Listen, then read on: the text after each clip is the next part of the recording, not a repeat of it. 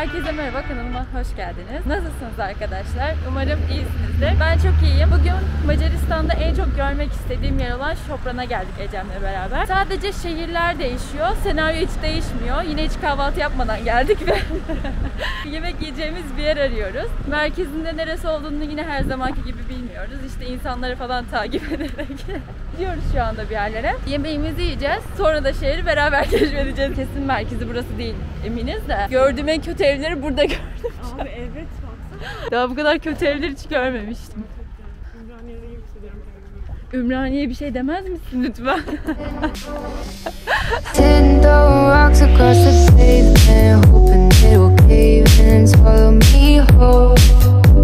Burada çok fazla kafe vardır. Hedefimiz buraya gitmek olmalı. Aa bak biz buradayız. Şuradan. Ne oluyor ya? Şimdi bir yere oturduk. Çok güzel bir yer ama tuhaf tuhaf şeyler oluyor burada. Yanımızda böyle bir sürü böcek. Çok güzel bir yer. Sadece hava biraz tuhaf. Arada bir bir şeyler oluyor. Bak, Kapı çarptı. Biz ilk kez arkadaşlar üstümüze giyecek ekstra bir şey almadık. Hep ağırlık oluyor. Havalar çok sıcak diye. Ama Şu an çok kötü bir mekana geldik. Kimse yok gördüğünüz gibi. Şurası da iki tane neymiş rezerveymiş. İnandık tamam. Sizce ne yiyoruz? Orada böcek vardı az önce menünün üstünde. Arkadaşlar yediğimiz şey şu. Makarna yiyoruz ya. Şaka mı ya bu? Şaka mı bu ya? Sakka mı bu ya? Ama e, gerekli bir mazeretimiz var. Tavuk göğsü yiyecektik diğer türlü. Tavuk göğsü yiyem, yiyeceğimize hem tavuğun göğsünü yiyelim hem de yanına makarna yiyelim. Ne kadar çok porsiyon o kadar kârdır arkadaşlar dedik. Ve 60 TL'ye bir makarna aldık. Baba çok özür dilerim paranın makarnaya yatırdığımız. Yarın en gerekli şeyi Nasıl yapalım?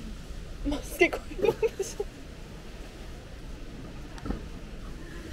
Bugün her şey çok kötü ya. Arkadaşlar yemeğimiz geldi. İçerisinde hep tavuk. Yediğim en kötü makarna. Burada Gerçekten. Biraz önce size gösterdiğim makarnayı tam olarak 9 dakika içerisinde yedik. Hemen hesabımıza kalktık. Bir insan ne kadar kötü bir makarna yapabilirse o kadar kötü bir makarnaydı. Tadını çok hissetmeyeyim diye hızlı hızlı yedim. O kadar kötü bir makarnaydı. Ve bizim acelemiz var. Buraya gelmek 3 saat. Avusturya sınırındayız. Aşırı yakınız Avusturya'ya. 10 dakika. Macaristan'ın en uzak köşesine geldik. 3 saatte geldik buraya. Ama bizim akşam bir de veda yemeğimiz var. Güneş yarın gidiyor Balkanlara. Biz de 16'sında zaten yola çıkıyoruz. O nedenle birbirimizi bir daha görmeyeceğiz. Bugün bir akşam yemeği düzenleyelim, veda yemeği düzenleyelim dedik. 7.30'da da oraya rezervasyon yaptırdık. Bir de oraya yetişmemiz lazım. O nedenle 4 trenine bineceğiz. Şu an saat 3. Ne oldu? Şimdi kameranın kapağını arıyoruz. Yani gerçekten Wonder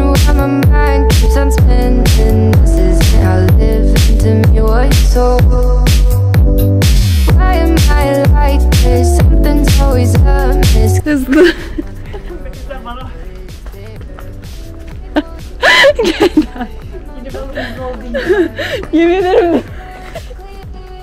Her gittiğim yerden taş alıyorum. Onları biriktirip üstüne nereden olduklarını yazıyorum. Hatta şimdi şuradan da bir taş alalım. Üstüne şöyle yazı yazılabilecek. Burada bir sürü taş var. Şu iyi olur diye düşünüyorum. Ay göstermemişim. Şu taş güzel. Bu şopron taşı. Bunun üstüne yazacağım şopron diye. Seviyorum böyle şeyleri biriktirmeyi. Türkiye bayrağı gördüm. Akışına. Türkiye'm. Türk bayrağı. Hmm, işletmecileri Türk demek ki. Aa yok yok konsolosluktur. Evet bak başkonsolosluk. İleride de İsviçre başkonsolosluğu var. Ama otelin orada olması çok enteresan.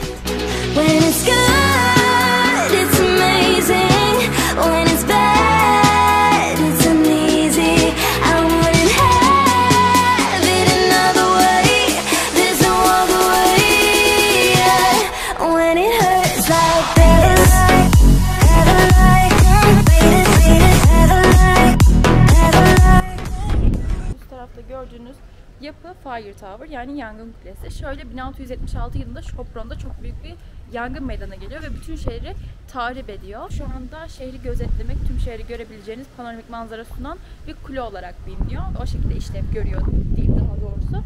Biz çıkamıyoruz içerisinde çünkü immunity card istiyorlar. Zaten birçok yani hiçbir yere giremiyoruz immunity kartlar yüzünden.